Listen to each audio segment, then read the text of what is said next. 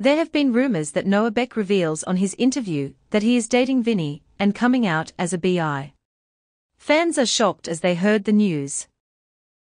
Are they actually dating? I can't tell. I can't tell if y'all are joking. Rue, when was this? Comment below what y'all think about this. Special shout out today to these people. To get one, just subscribe to my channel and like the video. Thank you for watching.